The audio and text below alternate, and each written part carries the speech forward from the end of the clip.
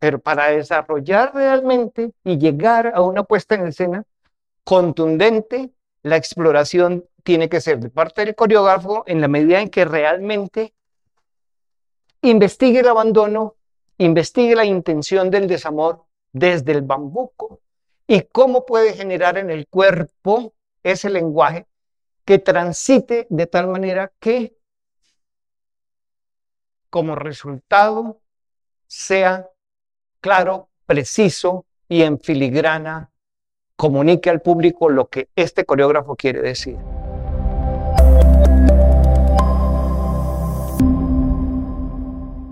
Bueno, siguiendo con eh, la ponencia de Álvaro, vamos a hacer dos preguntas de parte mía y dos preguntas de parte de ustedes porque ya nos cogió el tiempo. Listo. Primera, cuando hablo de deconstruir, podría ser lo mismo que decir reinterpretar, crear una nueva versión, hacer una variación.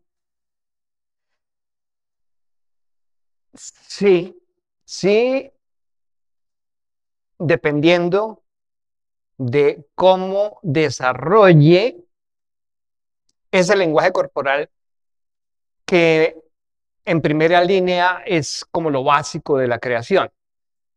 Y para reinterpretarlo o desarrollarlo, pues necesito la exploración de esa primera línea, de esa primera faceta, y empezar a buscar herramientas que, permitan que realmente se llegue a ese punto de, de construcción. Pero en general sí puede ser lo mismo. Ah, bueno. La segunda, tanto en el libro como en la exposición le da mucha importancia al cuento de la deconstrucción.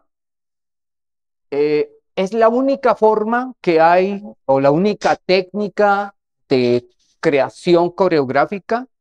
¿Es la más importante o hay otras igualmente importantes? Eh, yo creo que ninguna es importante. Yo creo que todas son importantes. Es decir, Em, el concepto de la deconstrucción prácticamente es nuevo en la danza. De construcción se ha hablado desde el siglo anterior y, y, sobre todo en la deconstrucción de la palabra y en el lenguaje eh, literario.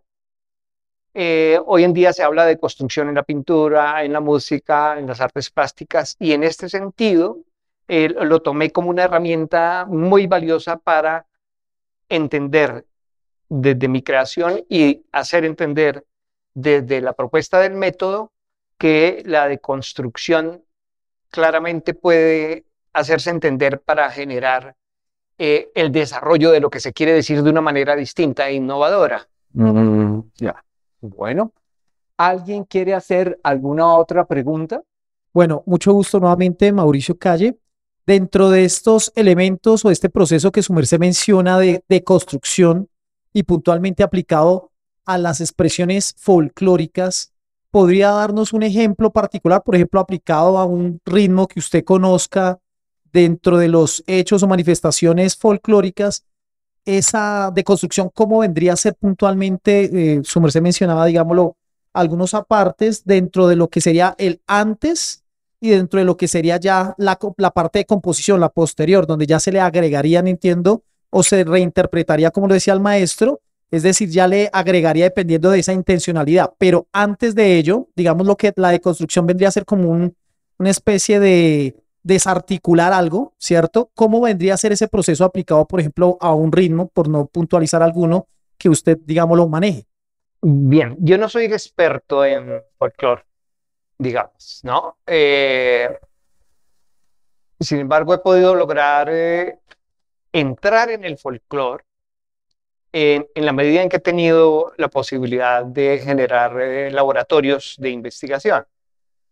Lo que es claro es que el ejemplo lo di en el momento en que estuve hablando allí, cuando a través, por ejemplo, del bambuco, ¿no? O de eh, el escobillado.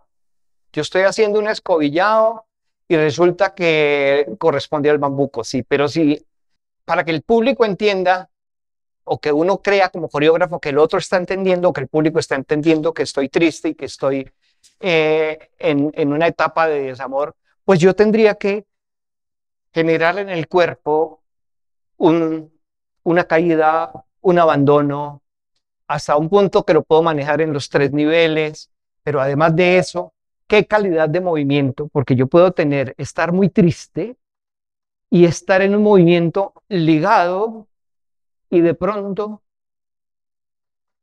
ataco porque recuerdo y me viene la rabia y puedo seguir y continuar con el movimiento tradicional, pero desarrollando eh, esta magnitud de querer hacer entender ese abandono o ese miedo o ese sufrimiento. Como a través de la historia también de una narración del bambuco que tiene, que va la pareja enamorada, no sé, en, en fin, y de pronto empiezan a lanzar arroz para sembrar el arroz en la tierra.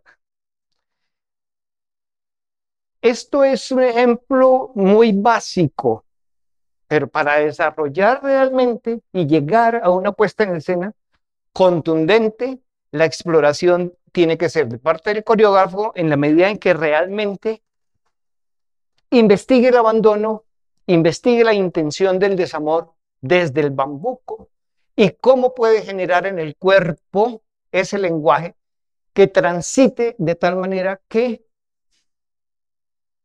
como resultado sea claro, preciso y en filigrana comunique al público lo que este coreógrafo quiere decir. Una pregunta más muy corta. Sí, maestro, buenas noches. Ana Milena Paipa de la Fundación Yutabasu.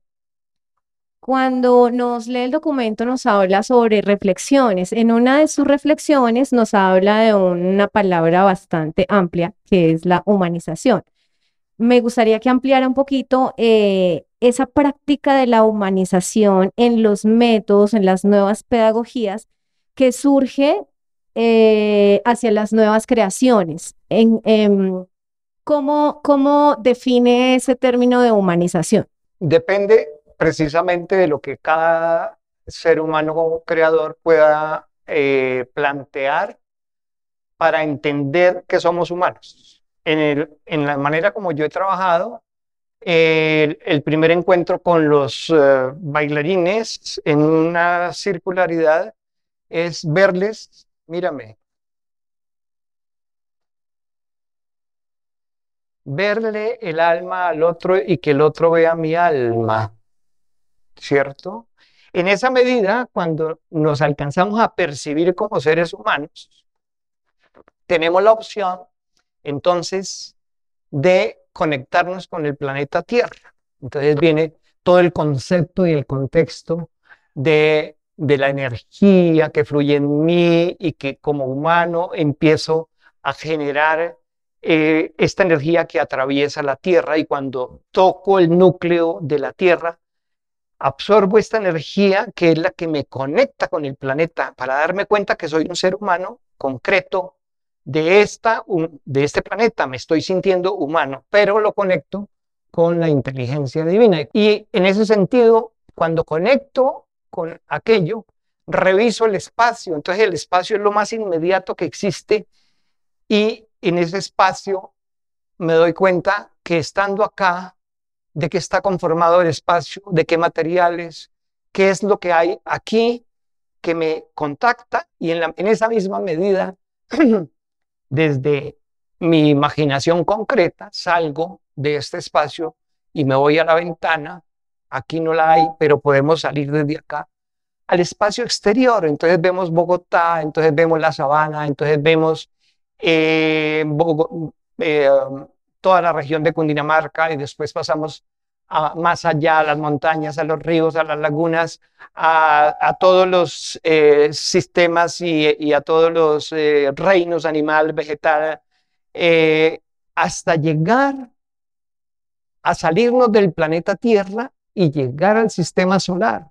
Cuando ya comprendo todo esto, empieza a dar herramientas específicas de composición de acuerdo a la, a la necesidad que requiere el tema.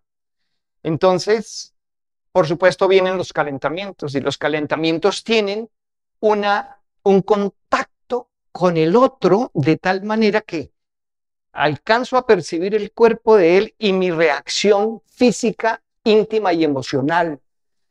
Y en ese sentido viene la preparación para empezar la creación. Eh, para terminar, quisiera dar un ejemplo, ya que después de leer el libro de Álvaro me di cuenta que yo hago eso todo el tiempo. Eh, un ejemplo, entre la ira y el deseo es una coreografía en bambuco sobre la música de la giga de ensamble. No sé si la habrán oído, es muy fuerte. El planteamiento, que como yo comienzo, digo, todos hemos tenido una historia de amor, esas historias de amor y pasión violentas, donde me enamoro de una mujer y ella se enamora de mí, pero nos odiamos al mismo tiempo porque, porque no se puede dar. No sé si lo han tenido, si lo han tenido, los felicito porque eso es genial. Es una vaina casi enfermiza. Es una vaina de que la tengo que buscar, la tengo que poseer, pero la odio porque soy preso de ella. Soy preso de ese sexo. ¿Sí? Ya está la situación. Coge el bambuco. Ustedes saben que tienen la invitación, las seguidillas, la aceptación, no sé qué. ¿Qué pasa si todo el tiempo estoy jugando entre un acosamiento y un rechazo, tanto de él hacia ella como de ella hacia él? El resto del trabajo es ir construyendo nuevamente con los elementos. Bueno, esa es la manera como él construye, por ejemplo, ¿no? Y no es solamente él y ella, sino él y él, o ella y ella. Ah, bueno, sí. O todos nosotros. O vosotros. O Muchas vosotros. gracias.